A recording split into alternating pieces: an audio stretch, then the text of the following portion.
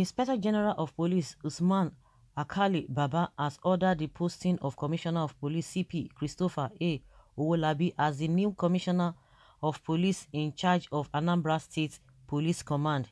The deployment of the new CP, according to a statement by force spokesperson CP Frank Mba, is part of the ongoing effort at ordering, reordering, overhauling and strengthening the security and policing architecture in Anambra State, other states of the southeast and south-south geopolitical zones of the country. This is said is ultimately designed to improve the operational efficiency of the commands and enhance public safety and security. CP Chris Owolabi takes over from CP Monday Bala Kuryas, who has been redeployed to the anti-fraud section of the Force Headquarters Annex, Lagos.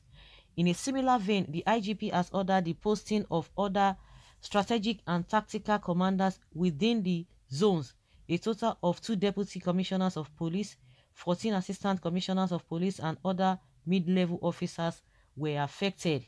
The Inspector General of Police charged the new Commissioner of Police in Anambra State to take, to take adequate measures in consolidating and improving on the gains of his predecessor.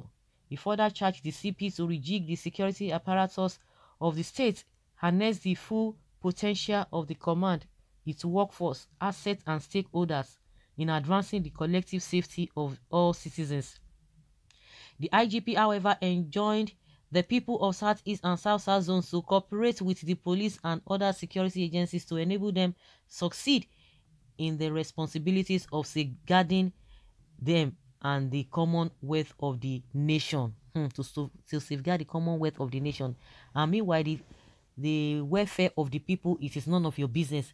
The problem, you are going to continue to have problem and will continue to have problem in this country if we don't do the needful, if you don't take care of the masses, if you don't take care of the police force if you don't take care of their welfare up to today see where they are still staying it looks like uh, where uh, uh, animals are staying and you guys are not doing anything about it. The welfare of the policemen the welfare of the citizens the the thing you are going to do to bring together the people across board across board you are not doing all of those things. See the economy see everything see the poverty level everything is in shambles and you want to have a a decent and sane environment. You are just going you're just wasting you're just wasting your time. It's just like you are pouring water into a basket it's not going to hold. As you are pouring it is is is is, no it's going away from the basket. But if you do the needful all of this stress that you guys are just running from pillar to post it will not be there. The work will be lesser for you. But because of wickedness because of greed across board across board for of those who are holding this country to ransom those who are supposed to do the right thing who are supposed to take right policies put do the right thing. It's not rocket science. But every now and then they are changing changing changing. They transfer this to this transfer it to that. At the end of the day what will it what will it bring out? Nothing. So they're just stressing themselves onto nothing. Do the right thing. Naturally by default things will set things will take care of itself. But the same thing moving around circles and we want the best we are deceiving each other. Well, what about Northeast and North Central? The end will justify the means. The number of criminal and IPOB are in the East. Okay, say what you wanted to talk in your mother tongue. Okay, okay, its hometown is in the hands of Boko Haram. It is the East that it will send, uh, it will attend to. Of course, bandits are all over the place the bandits are all over the place the masses the whatever the residents there all of them are crying well what people don't know is that uh, these terrorists the west support to rule the country are the real boko haram bandits and the fulani terrorists, s-men they are winning at least most of the northern states are under their control now in benue the terrorist president told the governors that the he must surrender his people's land to them for them to have peace. The place that seems difficult for them is the southeast. Hence, they are employing all sorts of tricks to form reason to start mass killing in the zone. Do the east have more security challenges than the north? Preparing Anambra for APC takeover in the upcoming governorship election.